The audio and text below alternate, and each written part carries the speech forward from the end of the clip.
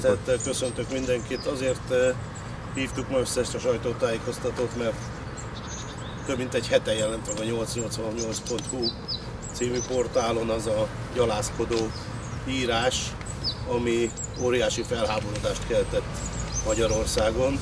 Úgy fogalmaztunk, hogy az a mocsok, amit a 888.hu portál eh, a közéletbe eh, bemutatott, az minden oldalt felháborított nem csak baloldalról, jobb oldalról is politikusok, újságírók, publicisták határolódtak el e, ettől az írástól. Eladdig, hogy G. Fodor Gábor ellen, a 888.hu portál főszerkesztője ellen, még az egyetemének a rektora is e, eljárást indítatott. Azért vagyunk itt a századvég székháza előtt, mert ez a mocsok jelentős mértékben a századvégre is ráfröccsent, ha úgy tetszik ugyanis G. Fodor Gábor ennek a századvégnek a stratégiai igazgatója, és a századvégnek a kommunikációs igazgatója pedig annak a portált e, tulajdonló cégnek a vezérigazgatója, aki szintén szó nélkül tűrte ezt a szégyent, ami történt. Tisztelt Hölgyeim és Uraim, azt gondoljuk, hogy a századvég alapítványnak lépnie kell ha nem akarja vállalni azt a szégyent, azt a mocskot, amit két munkatársa erre a cégre is rákent, akkor ettől a két munkatársától meg kell válnia.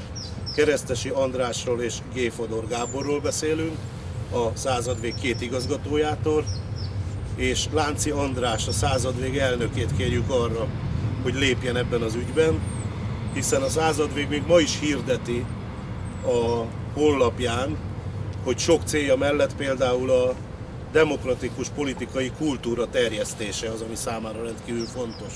Hát ha a demokratikus politikai kultúra terjesztése ma is fontos még a századvég alapítványnak, akkor ettől a két emberétől meg kell, hogy váljon. Amennyiben Lánci András nem válik meg ettől a két embertől, akkor a századvégen is rajta marad ez a szégyen, akkor ő vállalja ezzel a két emberrel együtt ennek a két embernek a tetteit is.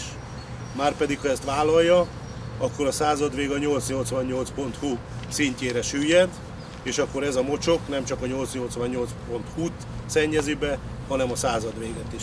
Én levéllel fordultam Lánci úrhoz ebben az ügyben, itt van nálam ez a levél, amit neki írtam, ezt itt be fogom dobni a postaládába, és aztán majd itt a kapun elhelyezünk még egy üzenetet is számukra, hogyha a levél elkerülni a figyelmüket, akkor tudják, hogy ez az üzenet áll számukra is. És még egyszer mondom, nem csak tőlünk, nem csak a baloldali pártoktól, hanem nagyon erőteljesen konzervatív, jobboldali orgánumok is elhatárolódnak ettől.